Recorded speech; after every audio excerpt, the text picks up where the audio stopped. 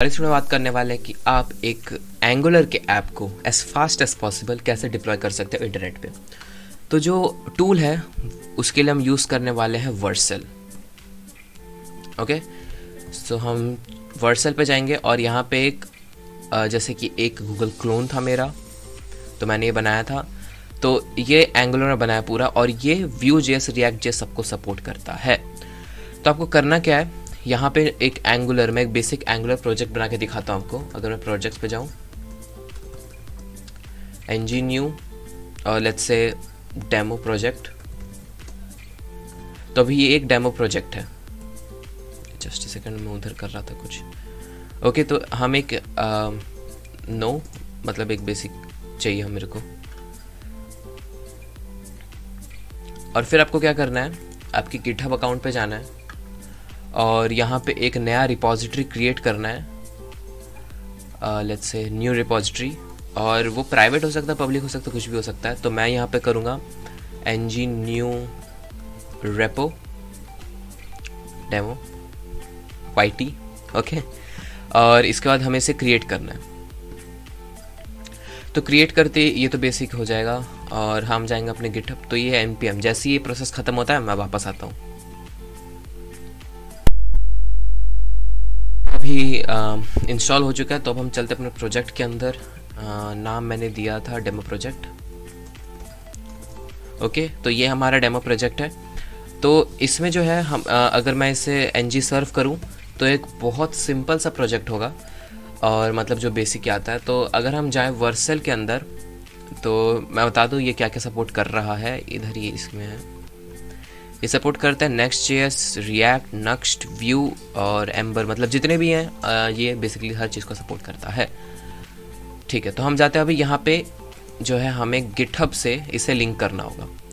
जैसे new project पर मैं क्लिक करूँगा तो देख सकते हैं मेरा जितना भी रेपो है, अभी जो मैंने, अभी जस्ट नया बनाया है एक एन जी न्यू प्रोजेक्ट तो वो इसे रीड कर रहा है। अगर हम इसमें एंगुलर डाल देंगे तो यह एंगुलर का साइन आ जाएगा। ओके तो अभी हम जाते हैं अपने गिटहब पे तो गिट स्टेटस करते हैं, देखते कुछ है कि नहीं। ओके सब कुछ कमिट हो रखा है।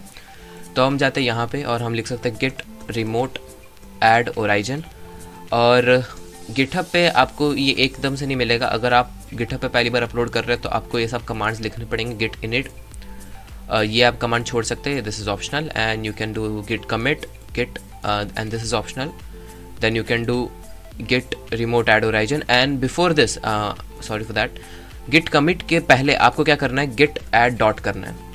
ओके तो पहला git in git add dot git commit और फिर गिट रिमोट एड और फिर ये वाला कमांड ओके तो ये करने के बाद जैसा भी मैं यहाँ पे कर रहा हूँ git remote push origin master main okay git push origin master क्योंकि मैंने इधर ब्रांच मेन है। डिफ़ॉल्ट ब्रांच मास्टर होता है तो मैंने मास्टर नहीं बनाया मैंने मतलब मेन नहीं बनाया तो मैं मास्टर में पुश कर दूँगा।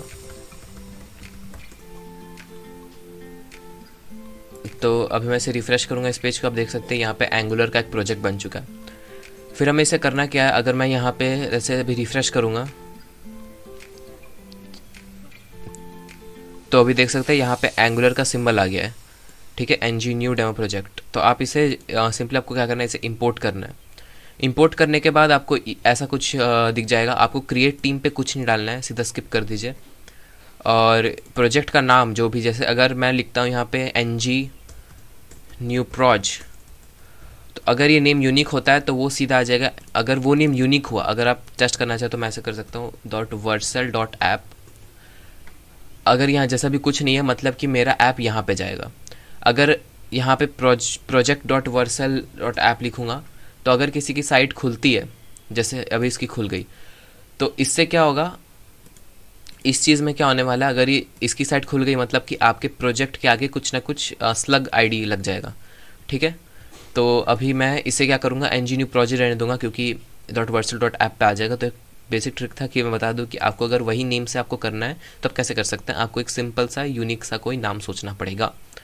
फिर हम बिल्ट एंड आउटपुट सेटिंग में जाएँगे। अगर आपको उसको ओवरराइड करना है तो आप इसे ओवरराइड कर सकते हैं, जैसे कुछ और, जैसे default N P run build होता है, हम इसी तरह बिल्ड करते हैं उसको।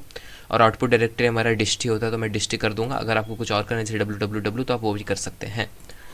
फिर हमें जाना है एनवायरमेंट वेरिएबल पे। एनवायरमेंट जैसे आप, अगर आपका ऐप कोई एनवायरमेंट वेरिएबल यूज़ करता है तो आप उस केस में यहाँ पे एनवायरमेंट वेरिएबल डाल सकते हैं।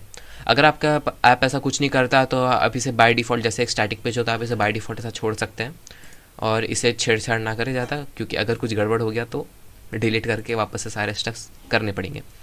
फिर हम क्या कर सकते हैं इसे डिप्लॉय और डिप्लॉय करते ही ये थोड़ी देर घूमेगा और फिर यहाँ पे आ जाएगा सब चीज़। आप देख सकते हैं फैचिंग द सोर्स कोड तो ये बेसिकली सब चीज़ करेगा। और अगर आपने जो है गिटहब के ब्रांच पे अगर डिस्ट फोल्डर भी ऐड कर रखा है मतलब कि जो बिल्ड फोल्डर होता है हमारा, यहाँ पे एक डिस्ट फोल्डर अगर मैं एनजी बिल्ड करूँ एन जी सर्व हो गया है तो मैं दिखा देता हूँ वेबसाइट कैसे दिखनी चाहिए। Forty two hundred. तो ये हमारा डेमो प्रोजेक्ट है। अगर ये जैसे ये प्रोजेक्ट लाइव हो जाता है तो ये हमें वेब पेज कुछ ऐसा दिखेगा। तो जैसे ये प्रोसेस कंप्लीट हो जाता है I catch you up. Project पूरा बन जाएगा तो ऐसा करके कुछ आ जाएगा। Congratulation you just deployed your project to Vercel और आपको डैशबोर्ड पे जाना है और अगर आप इस साइट को देखना चाहते हो, आप सिंपली यहाँ पे विज़िट कर सकते हैं। तो देख सकते हैं, ये जो साइट है, वो अभी लाइव हो चुकी है। यही सेम साइट हमारा डेमो प्रोजेक्ट था और आप भी इसे जाके देख सकते हो। हालाँकि मैं इसे हटा दूँगा, क्योंकि मुझे ऐसा कुछ प्रोडक्शन ऐसा नहीं रखना है। और उसके बाद आप बिल्ड लॉग्स देख सकते हैं कि आपके बिल्ड में क्या क्या आया था। जैसे ये सब कंपाइलेशन जो हम करते वो हुआ था। ठीक है? और एक बात बता दूँ, ये कंटिन्यूस इंटीग्रेशन है। मतलब अगर आप वापस से कुछ कमिट करते हैं इसके अंदर तो आपके साइट पे अपने आप शो हो जाएगा, जो है मास्टर ब्रांच पे। ठीक है तो आप कर क्या सकते हैं, अगर आप एक टीम में काम करते हैं तो एक नया ब्रांच बना सकते हैं, और मेन पे जाके फिर उसे मास्टर से मर्ज कर देंगे। जैसे ही मास्टर से मर्ज होगा, ये जो है साइट के चेंजेस अपने आप यहाँ आ जाएँगे।